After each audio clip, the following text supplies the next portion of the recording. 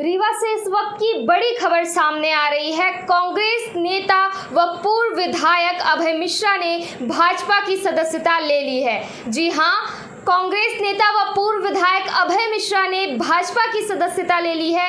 आपको बता दें कि 2018 विधानसभा चुनाव में अभय मिश्रा ने कांग्रेस के टिकट पर रीवा सीट से राजेंद्र शुक्ल के खिलाफ चुनाव लड़ा था, जिसमें वे हार गए थे।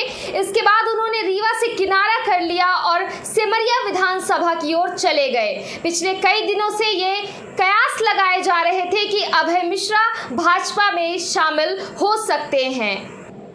क्योंकि पिछले काफ़ी समय से अभय मिश्रा को भाजपा का विरोध करते हुए नहीं देखा गया था।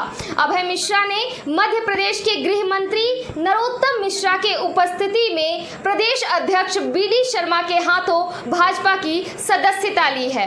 अभय मिश्रा के भाजपा में आने से विंध्य की सियासत में हड़कंप सा मच गया है। और अब कई सवाल खड़े सबसे बड़ा सवाल ये है कि अब सिमरिया विधानसभा से भाजपा का प्रत्याशी कौन होगा? वर्तमान विधायक के पी त्रिपाठी का क्या होगा? सिमरिया से टिकट की दावेदारी करने वाले संजय द्विवेदी का अब क्या होगा?